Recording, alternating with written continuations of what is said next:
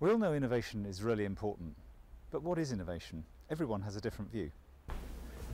It's all about coming up with great ideas. Yes, that's true.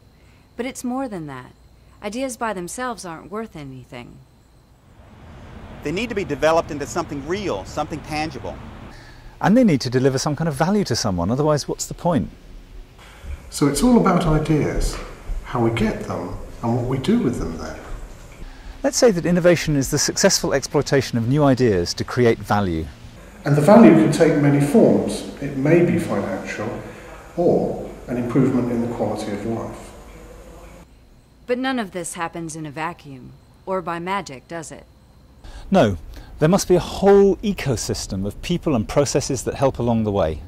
Driving the ideal life cycle to create ideas and develop them into something that delivers great value. And that value can make the world a better place for everyone. But where does this ecosystem come from?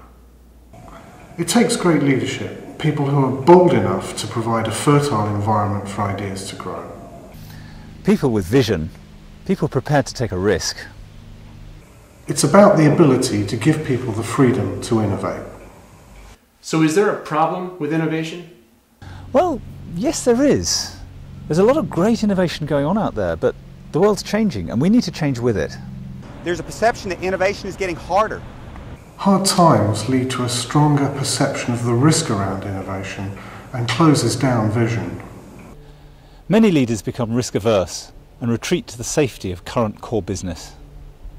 Let's help innovation leaders be more agile and free them to break us out of this cycle. The time to innovate is now.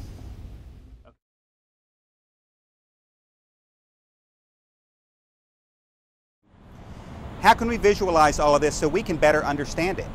How about making it fun? Why not make a game out of it? A game about innovation and how it's central to success in today's world. Well, who would play such a game if there was one? Well, anyone interested in increasing the rate of innovation and success in their organisation or who'd like to broaden their thinking about innovative behaviours. Like students or business leaders?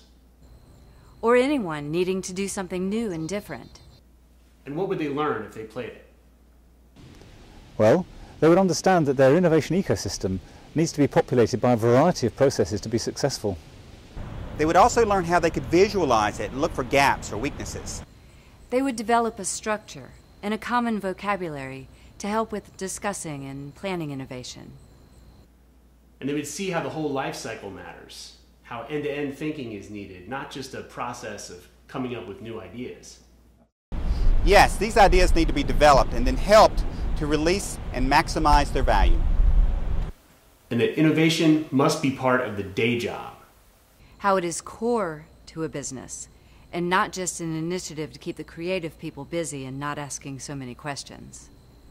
They would also learn that they must keep thinking ahead and maintain a pipeline, innovating continuously to ensure that they don't suffer a slow, painful contraction of their business. And they might find out what happens if they're not open to new ways of doing things. The way things were done is probably not good enough anymore. Do they have the freedom to innovate in new ways, or are they stuck with the old? And most importantly, they would learn that there's no such thing as a free lunch. All too often, innovators are expected to magic something out of nothing. Lack of investment in resources leads to a sick ecosystem and poor innovation. There are no innovation fairies. Wow, they'd learn quite a lot then. How quickly would they gain these insights? Well, it would probably take a couple of hours for them to find their way around the game, and then they would understand how a viable ecosystem drives their success. And of course, the more they play, the more insights they will uncover. I think we should find out more about this game. Could be fun.